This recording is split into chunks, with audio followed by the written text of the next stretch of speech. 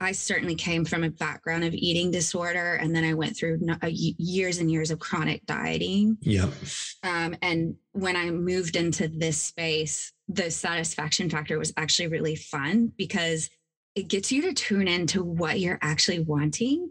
Yeah. So if it's like I'm well, it's a cold day, so I'm really wanting something like a soul food that's really warm and soothing, or oh, Vanessa, maybe it's like it's a cold know, day today, so this is.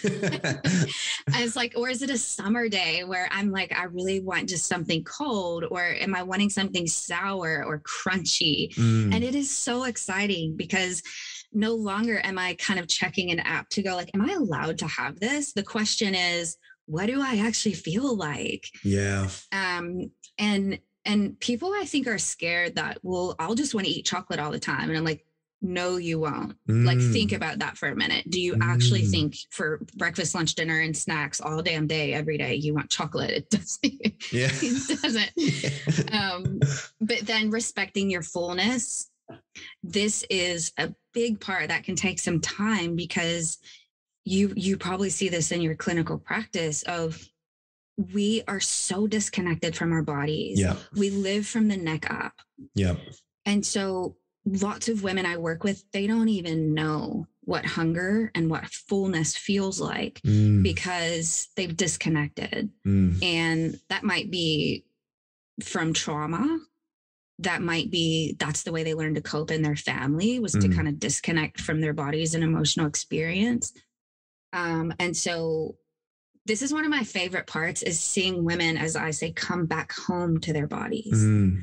and really get to know what this feels like mm, um, number seven is coping with emotions with kindness um, respecting your body movement so this is like a really beautiful part of intuitive eating too is what is underneath your kind of relationship to body movement and exercise. Yeah.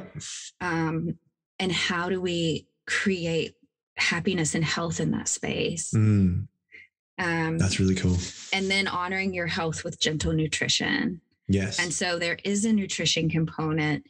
One of the things we talk about is there's no moral value to food. So a donut is not bad and make, doesn't make you a bad person, and an apple is not good and doesn't make you a good person. Mm. Um, so we kind of unpack. There's no moral value to food, but there is some nutritional stuff that we want to consider.